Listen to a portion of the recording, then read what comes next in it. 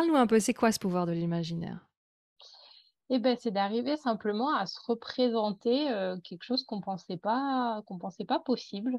Je vais te donner un exemple tout bête.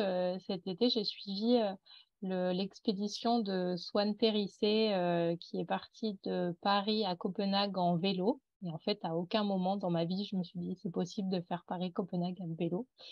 Et ben, jusqu'à que je vois quelqu'un le faire et, finalement que ça marche et que ça soit une belle expérience. Et en fait, c'est d'arriver à, implanter dans son cerveau une, nouvelle option quoi qui n'existait pas avant.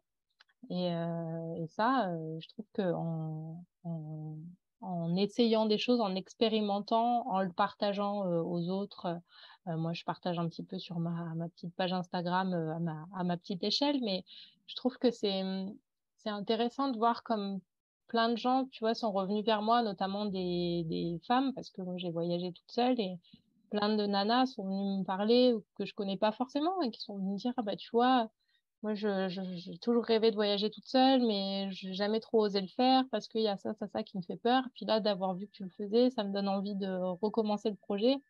Et je me dis, c'est génial, en fait, il faut arriver à, moi, ma, sphère d'influence est très limitée, donc ça va impacter quatre personnes, mais je veux dire, des personnes. Pas mal, si tout le monde impacte quatre personnes, attends, on fait le tour de la Terre. Hein. ouais, exactement. Mais, mais je trouve que c'est important d'arriver à, dans, ne serait-ce que tu vois sur les réseaux sociaux, dans un fil d'actualité, on est inondé de, de, plein, plein, plein, plein de choses. Et ben, si on arrive à inonder de plus de nouveaux récits, nouveaux imaginaires qui changent un peu la norme dominante, et ben, on aura quand même un peu commencé, euh, pas à gagner, mais à faire évoluer la, la bataille des idées, quoi.